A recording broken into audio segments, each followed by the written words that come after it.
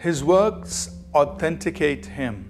John chapter 14, verses 10 and 11. Do you not believe that I am in the Father and the Father in me?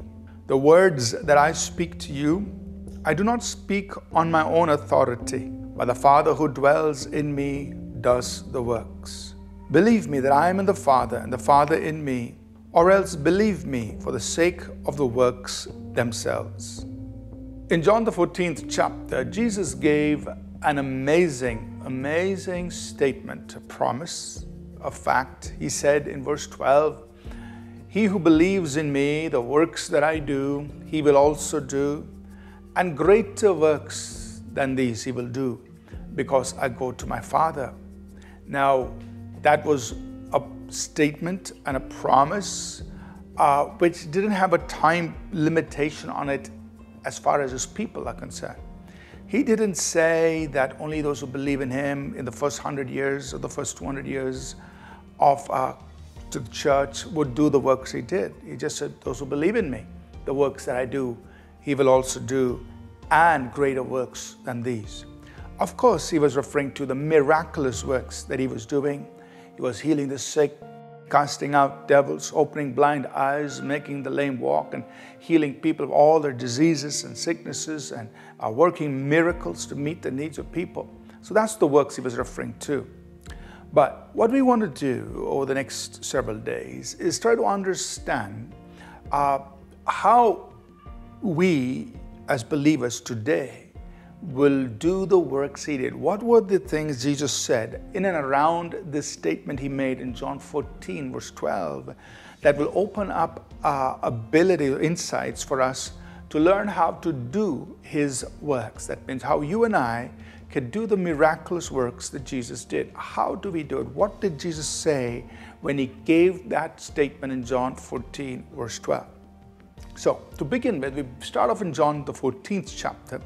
If you read the, read the first nine verses, you, you look at the context where Jesus began to say that in my Father's house are many mansions, and I'm going to prepare a place for you. Now, Thomas promptly said, Lord, uh, we don't know where you're going, and we don't know the way to get there. In other words, you're talking about your Father's house. We've never seen your Father's house. And you never once has taken us to your Father's house. So we don't know where it is, and we don't know the way to get there. Jesus responds and says, Look, I am the way, the truth, the life. No one comes to the Father except through me. He says, Look, I am the way there. And then right after that, another disciple says, But uh, where is your Father? I mean, we've been with you for three and a half years, and you've never introduced us to your Father. Where is your Father? And in response to that, Jesus makes these two statements, the verses that we've just read. He said, You know, if you've seen me, you've seen the Father. Believe me that I'm in the Father and the Father is in me. That means take my word for it, or else believe me for the sake of the works themselves. That means believe that what I'm saying is true because you're seeing the works happening right before your eyes.